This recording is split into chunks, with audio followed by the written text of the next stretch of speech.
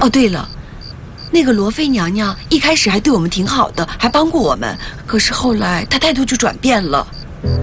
玉蝶在她那儿做事的时候，她还打过玉蝶，可惨了。是因为王爷吗？玉蝶她只是个厨娘，而且大家都知道，她心里只有李马，她和王爷应该没有什么牵扯吧？哼，有时候女人的妒忌心。是非常可怕的。你在这里坐着，我去看一下。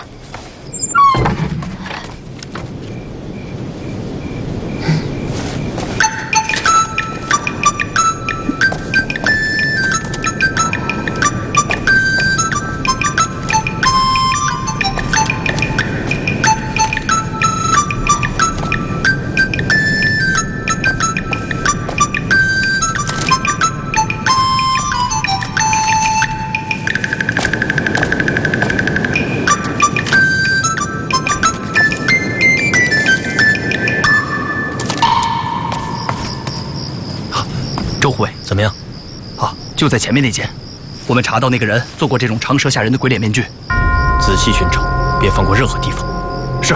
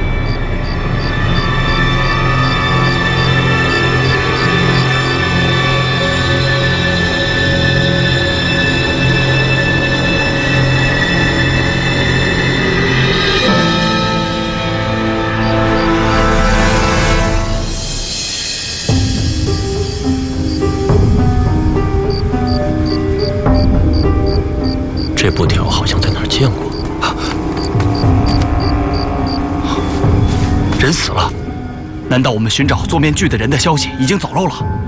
我们都还没有确定他是不是做面具的人，就已经被灭口了，证明我们的推断是正确的。和杏花的死一样，他还是比我们早下手一步。难道是我们当中有内奸？难道是同一个人所为？现在还无法肯定是一人所为。这伤口看不出是什么东西造成的，这种伤口不像是普通利刃造成的。比剑还要窄一些，屋内也没有打斗的痕迹。凶手不是趁人不备，就是武功高强。咱们还要仔细搜查，不能漏掉任何的线索。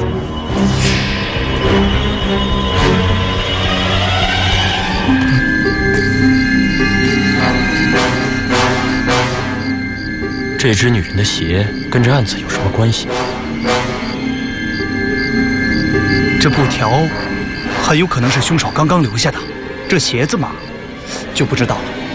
这鞋子的主人刚离开不久，何以见得呢？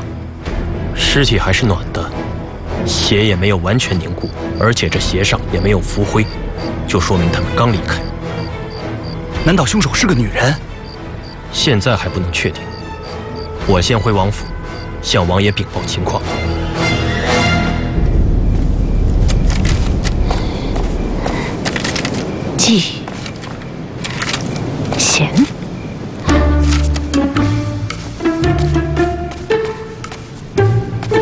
这是干什么呀？负荆请罪。什么罪呀？您拿的每一张纸，那都是我的道歉书。我没有照顾好玉蝶，请你打我一顿吧。哎呀，王总管啊，叫我小贤吧。小贤呐。哎呀，那个亲娘。咱们到那边去说吧啊。幸福来的太突然了，幸福来的太突然了。哎呦，哎呦！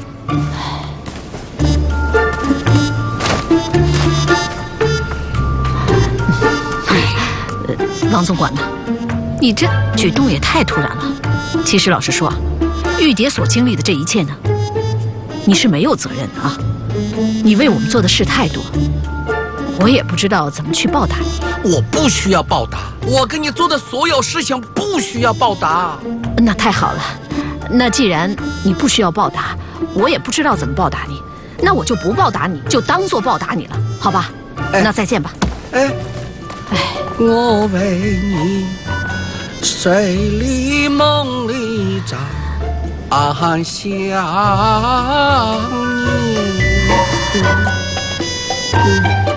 哎，对不起，吃大蒜了。没事蒜，消毒啊。哎，哎，销魂，销魂。唉本王原本以为找到了面具，就可以证明玉蝶的清白。现在这人却死了，可这反而可以断定，是有人栽赃玉蝶的。王爷属下总认为，这几件事情有某种关联，应该是一个人干的。你细细说来，从断肠草下毒，到玉蝶姑娘房间发现面具，再到布条和鞋，可以断定，是一个人干的。可光凭着布条和布鞋，也找不到凶手啊！这两件证物，应该和一个女人有关系。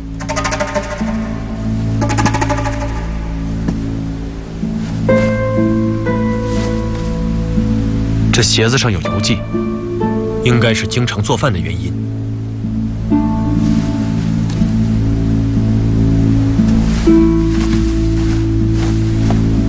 王爷，王爷，王爷，王王王爷，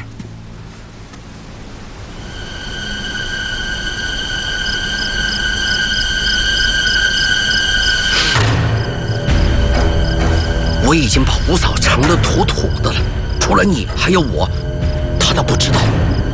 很好，你来的正好，我想找你破个案。破案？我们追查的人死了，只发现了这个布条和一只布鞋。嗯，这块布条，我总觉得在哪见过。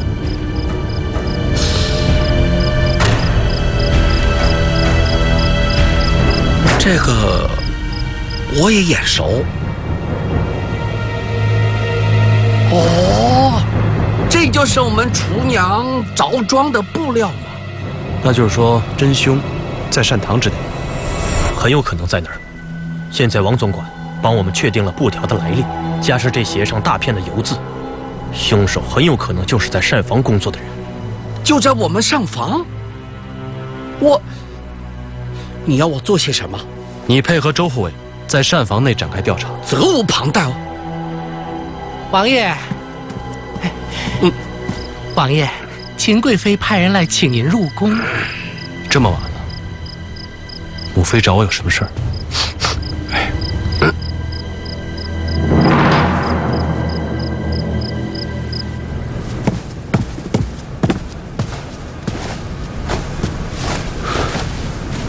母妃啊，你是想跟我说玉蝶的事儿吧？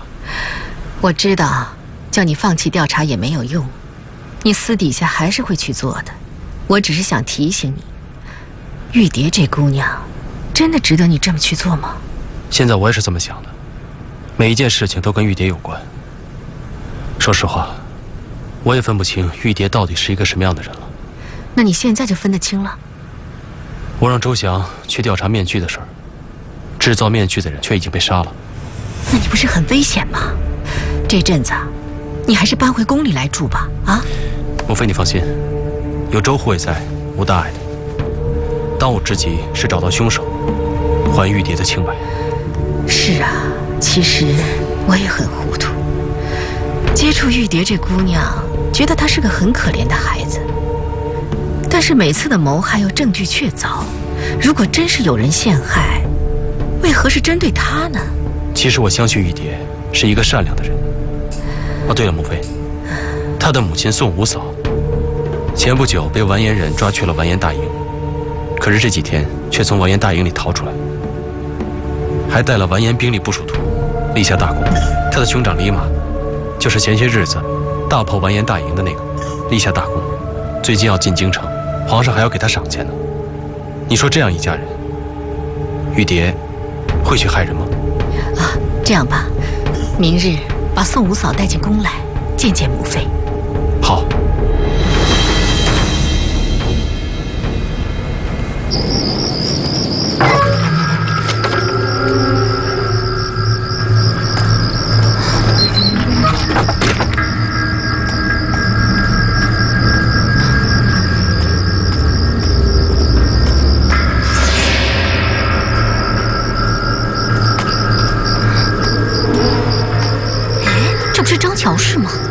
鬼鬼祟祟的，他在干什么？参见秦妃娘娘。你就是从完颜大营中逃出来，又带回重要情报的宋五嫂吗？是的。平身吧，谢娘娘。你女儿宋玉蝶的事情，你都知道了吧？我知道，但是民妇并不相信。不相信自己的女儿犯了法，是每一个做母亲的都会这样想的。但是，你们分开了那么久。他要遇到什么事情一犯糊涂呢？你又会怎么保证他不会犯错呢？禀娘娘，虽然民妇念书不多，可是和天下所有母亲一样，最了解自己的孩子。我家玉蝶，无论发生什么事情，也不会伤害别人的。有你这样的母亲，本宫也难以相信玉蝶会做出那样狠毒的事来。嗯，我还请娘娘能够重查此案。以免真正的凶手逍遥法外。好，本宫答应你，让刑部和青儿一起调查此事。你回家等着吧。只要玉蝶是清白的，就一定不会有事。啊，谢娘娘，谢娘娘。如果我的女儿还能活着，希望她能遇到一个像五嫂这样了不起的母亲。微臣吕二豹叩见皇上，吾皇万岁万岁万万岁！爱卿，快快免礼，平身呐！谢皇上。你知道这次朕为何急召你回京吗？微臣不知。这次你在晋水边关英勇杀敌，把敌人打得节节败退，灭敌人的威风，长我们的志气，所以朕要把你们这些猛将。都召回京城，一并论功行赏。这些猛将，皇上，除了吕二豹以外，还有谁啊？还有在晋水边关大败完颜泽立的林觉和李马。现在市井坊间到处都在传颂着他们的事迹，所以朕也要对他们论功行赏。他二人确实立了大功。明日朕打算和你们一起行赏，你看如何啊？皇上英明。好。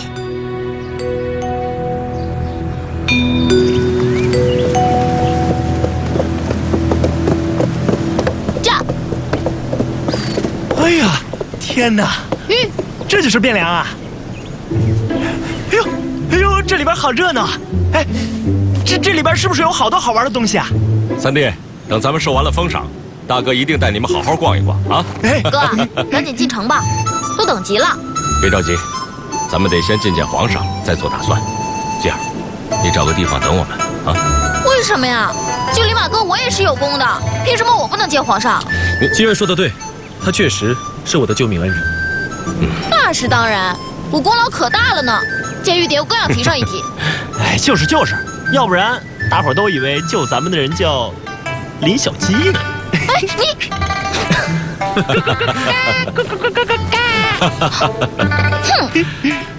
二弟，终于可以跟家人团聚了，挺激动的吧？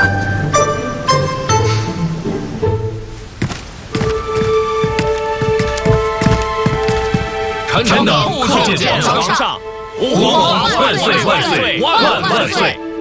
众爱卿，免礼，平身。谢皇上。众位爱卿啊，你们都是保我大宋的有功之臣呐，尤其是吕将军，不但善于带兵，还打了一场漂亮的仗。朕封你为二品骠骑将军。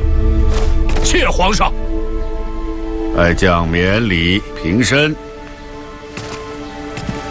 哪位是林觉将军啊？末将在。上次完颜贼子攻城，你就立下了大功啊，朕都给你记着呢。末将愧不敢当，不是我一个人的功劳。还有李马、小猴子，你们都是我大宋的猛将啊！尤其是李马，虽无官职，一介布衣，却屡建奇功啊！如果朕不厚厚的封赏你们，那就显得我这个皇上太小气了，是吧？林觉、李马、小猴子，听风。林觉，赐三品镇德将军；李马，赐从四品明威将军；小猴子，赐五品校尉。个人按所赐官职领取田宅俸禄。哎呀，还还有我的份呢！小猴子，懂不懂规矩？哦，皇上，小猴子出身乡野，不懂规矩，请皇上恕罪。小猴子聪明伶俐。是个不可多得的人才啊！请起吧。哎，李马，朕赐你从四品将军，你好像不太满意，是不是嫌朕赐你的太少了？回皇上，草民本来就是戴罪之身，在军中立下一点功劳，只是误打误撞，所以从来没有奢望过封赏赐爵。草民只是希望能够早点回到杭州。和家人团聚。你是个不可多得的人才，你不在军中效力，实在是太可惜了。草民闲散惯了，所以就不愿为官。但是国家有危难之时，无论草民身在何处，都会第一时间回来报效国家的。请皇上放心。居庙堂之高，则忧于民；处江湖之远，则忧其君。朕念你一片忠心，无论如何都要赏赐于你。列卿，你就莫推辞了。可是，很久之前，末将已经答应母亲要回杭州重建祖业，光耀门楣，还请皇上体谅草民，收回成命。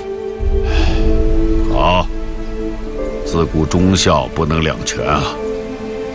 朕就成全了你，先把这从四品将军先挂起来。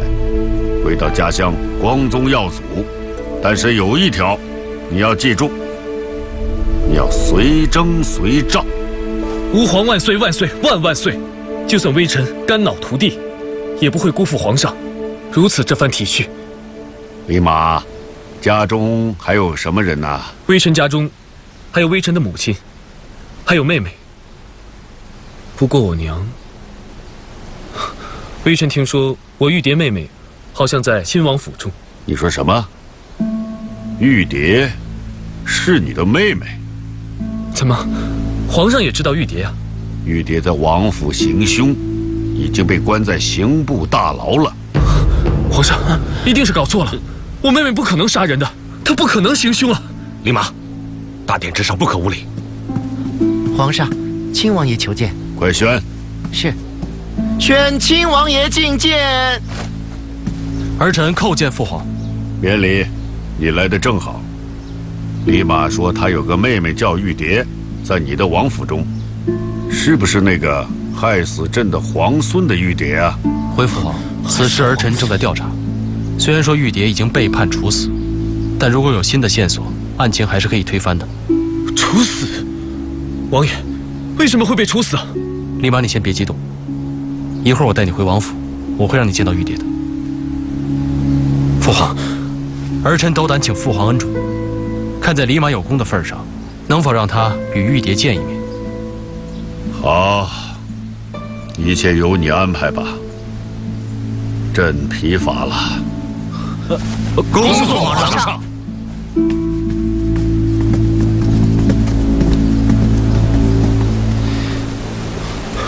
王爷，立马，你们先到王府等我。我去刑部把玉蝶接回来，我会叫王继贤带你去见你我娘。我娘不是娘，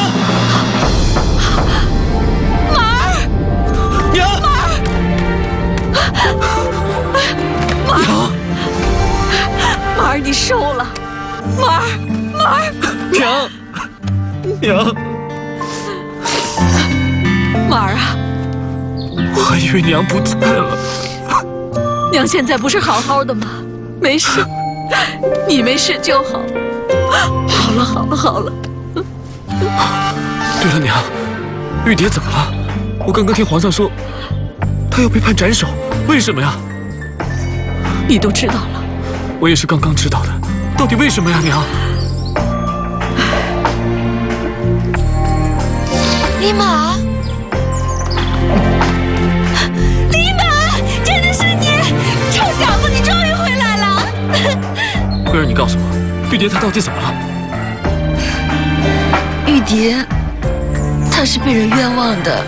都怪我，要不是我一时冲动，玉蝶她也不会受这么大的罪，一家也不至于四处漂泊。别这样说，别这样说啊！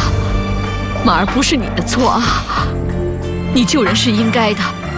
换了娘，我也会这样做的。嗯，先别哭了，我们想个办法，得把玉蝶救出来才行啊。娘，要不我去跟王爷求情，让王爷放了玉蝶，怎么样？这个办法呀，嗯，再非不得已，再去找王爷吧。你想想看，玉蝶本来就是清白的，但是靠人情让她出来的，她一辈子顶着罪名，她会愿意这样做吗？哦，娘，王爷他还答应我，让我跟玉蝶见上一面。好，那你等一下看见他，你别哭啊，擦干眼泪，擦干净。娘，啊，玉蝶，玉蝶，哎呀，桂儿，我们先进去，让他们好好谈谈，啊，去吧，去吧。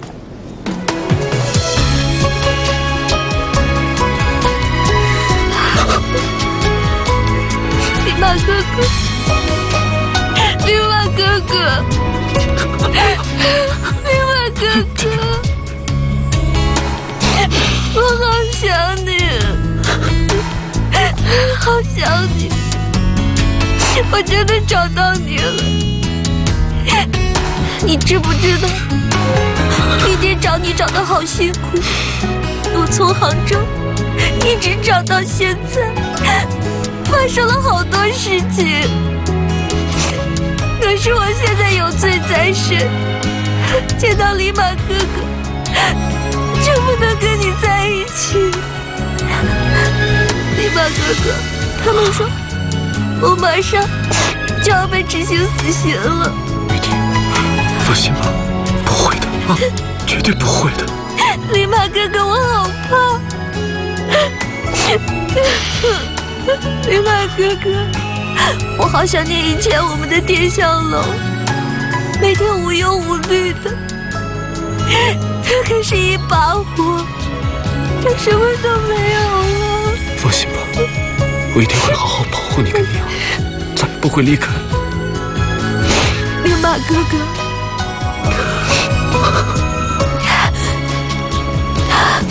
玉蝶，只要看到李马哥哥没事。就无所谓了。我现在有罪在身，不能在这久留了。李马哥哥，你要好好保重自己，不要再让玉蝶找你那么辛苦了。在这儿等着我，我一定会洗脱罪名的。等我。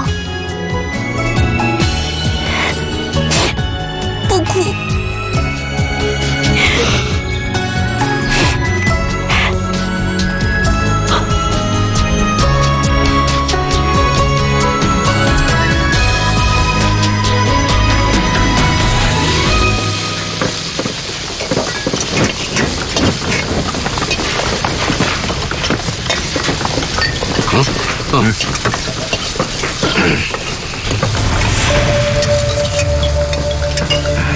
人都在，是一个个问呢，还是一起问？把他们鞋都脱了，把他们衣服都脱了。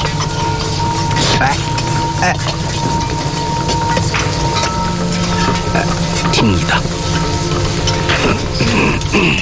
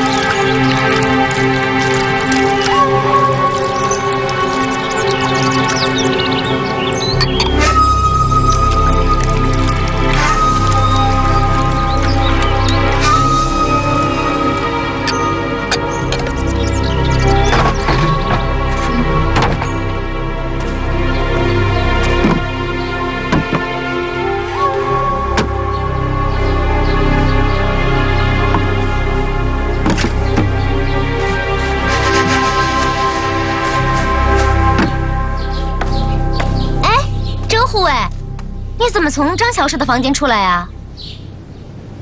有什么不妥吗？张乔氏是不是偷了什么东西？你知道什么？昨天晚上我起夜的时候，看见张乔氏鬼鬼祟祟的从外面回来，不一小会儿就抱着一个东西出去了。他一定是偷了什么东西，然后悄悄藏起来了。你看见东西藏哪儿了？我要是知道，我早就举报他了。不过应该在房后不远，不一小会儿就回来了。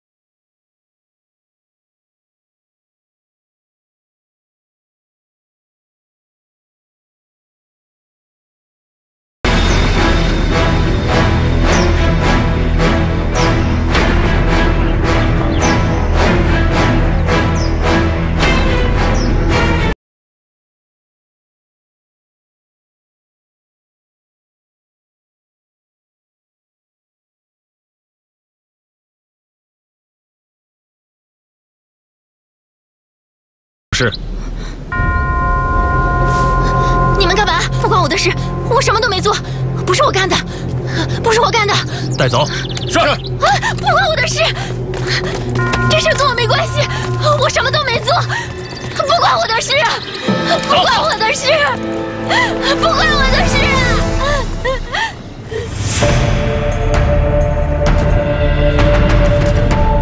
人是不是你杀的？我没有杀人。你没有杀人，这个布条你怎么解释？这是我们在死者手里找到的，是不是你杀他的时候被他抓下来的？我那天一进到屋，他就已经死了，房间里还有个人，我害怕的赶紧就跑了。什么人？你看见了吗？我看不清楚，他蒙着面。鞋你怎么解释？我当时一害怕，跑的时候就掉了一只，我怕别人发现询问。就把它藏起来了。张乔氏，你还没有回答我的问题，为什么死者手里会有你身上的布条？我也不知道，好像跑的时候被他抓了一下。张乔氏，这布条、鞋子两样证物就可以定你的罪，你为何不报案？因为我跟他的关系，我是个寡妇，一直就害怕别人知道我和他在一起，所以才不敢报案。哦，对了。那天晚上，那个人手里好像还抓着什么东西。什么东西？一缕白毛。大人，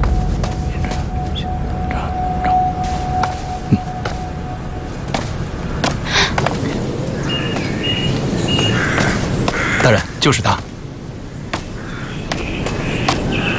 你有什么事情要报告？哦，周护卫，就是他害得罗妃娘娘和玉蝶姑娘的。你有什么证据？张乔氏原来是膳房管事，只因一次自作主张给罗妃娘娘献菜，结果那次做的菜太难吃了，这不是正赶上罗妃娘娘生玉蝶姑娘的气吗？所以她就被贬去洗碗去了。我想，一定就是她心存报复。这件事情还有谁知道？整个王府的膳房都知道。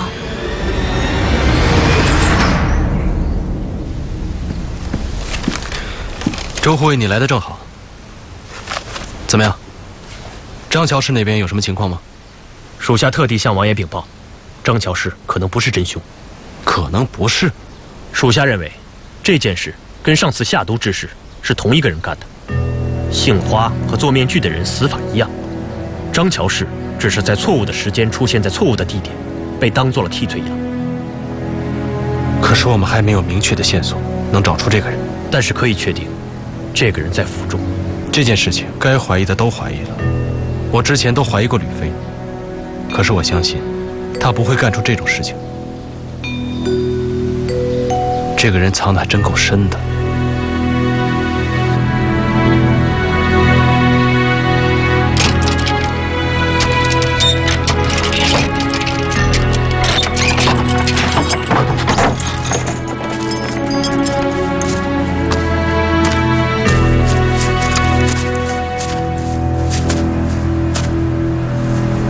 玉蝶姑娘，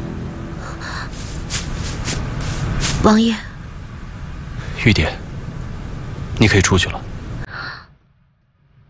那我娘还有李马哥哥呢？都在我府中等你。玉蝶姑娘，事情已经查清楚，陷害罗娘娘的另有其人，你可以跟我们出去了。我就知道，我一定会等到这一天的。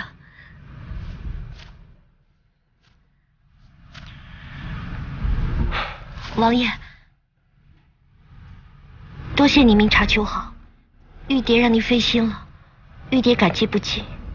周护卫，玉蝶对您感激不尽。我们走吧，王爷。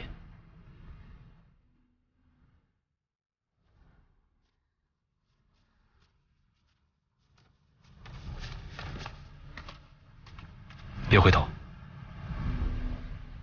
跟我走。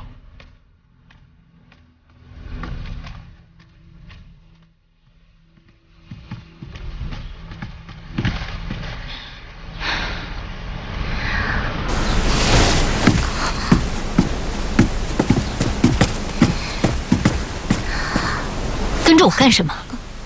快去看看宫总管来了没有。是。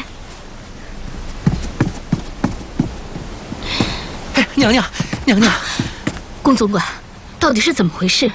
杀了一个厨娘，说是真凶，却把那个玉蝶给放了。哎呀，娘娘息怒，奴才去灭口的时候，没想到两个人在厮混。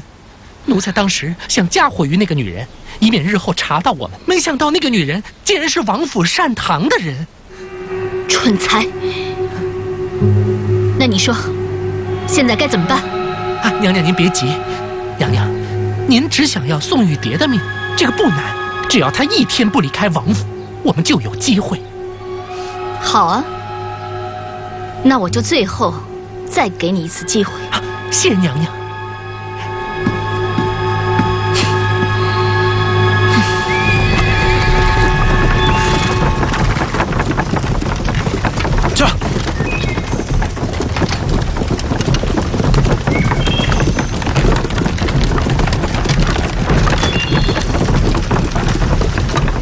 吁，就到这儿吧。谢谢你，周护卫。记住了，我不去找你，你不要出现在任何人面前。我留你一条命，你要珍惜。知道，谢谢。走吧。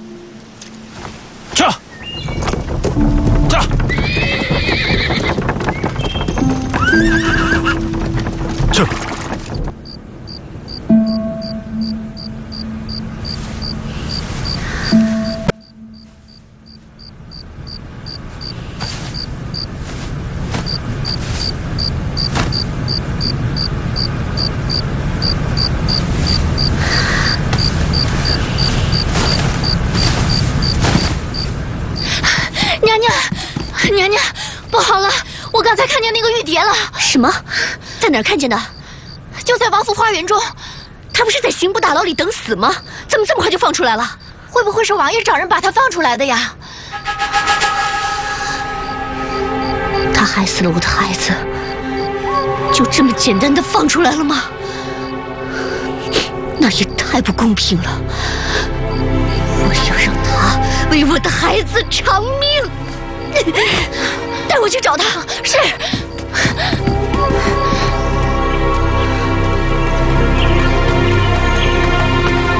你，看，那个玉蝶就在那儿。宋玉蝶，龙妃娘娘，你用了什么办法迷惑王爷的？竟然，竟然又让他把你放出来了！娘娘，是您误会了，我一直都是清白的，我没误会，证据都在，怎么可能是别人？我要你为我的孩子偿命！龙妃娘娘，你不可以这么做，玉蝶姑娘没有罪。玉蝶姑娘，你先走。玉蝶先告退了。你给我站住！你敢拦我？娘娘若还没有消气，可以冲我来。你以为我不敢吗？让你多事，让你多事！娘娘，娘娘消消气，别伤了您的玉手。若妃娘娘，现在事情已经查清楚了，害您的人不是玉蝶，而是膳房厨娘张乔氏，她已经被流放到外地斩首了。玉蝶姑娘也是受害者。怎么，怎么这么大的事情都没有人告诉我？把我当成外人吗？娘娘，娘娘！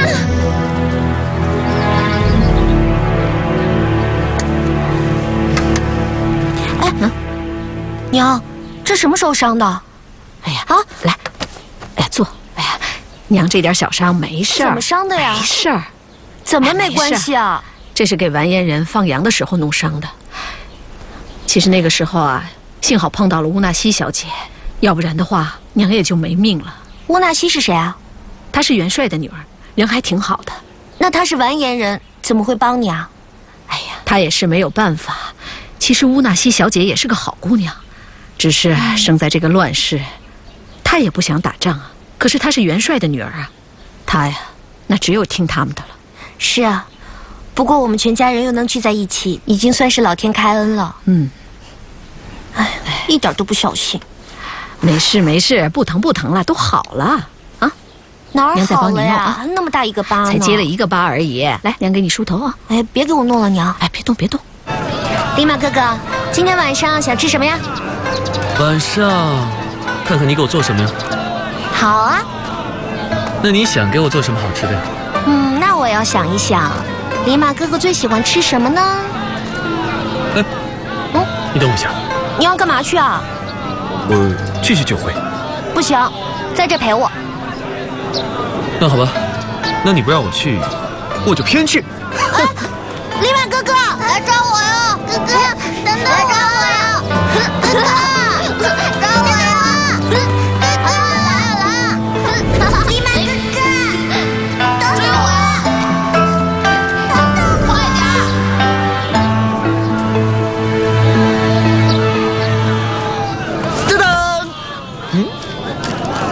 可爱吗，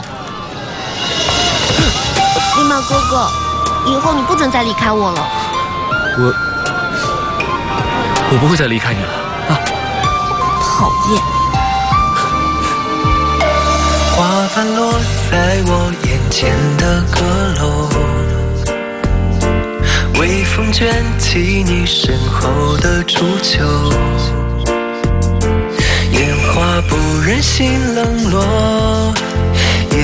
中的我，烟火照亮侧脸的寂寞。时光若拦不住那句放手，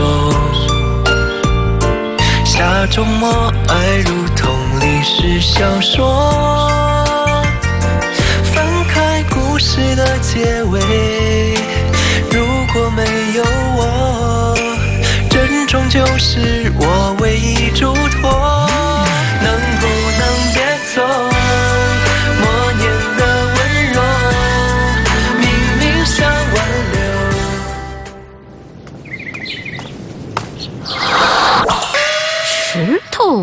会长官出来？哎呀！哎呀，王总管的，你这是……哎呀，你这是在搞什么玩意儿？你？哎，老汉今年四十八，一觉醒来头插花。哎呀，你是受了刺激了吧？此情只要卢嫂知啊，人不风流枉中年。好诗好诗，谁写的？仙人。哦，仙人。哎，我仙人也写一首诗给你。此花只应头上插，不应在我手上拿。你看，我们都有仙人，多有缘分呐！我们都有仙人指路啊！哦，这话你说对了。仙人呢，给你指路，哎，对，叫你现在就要停止，明白了吗？嗯嗯，别，我说的是手指的指，你说的是停止的止。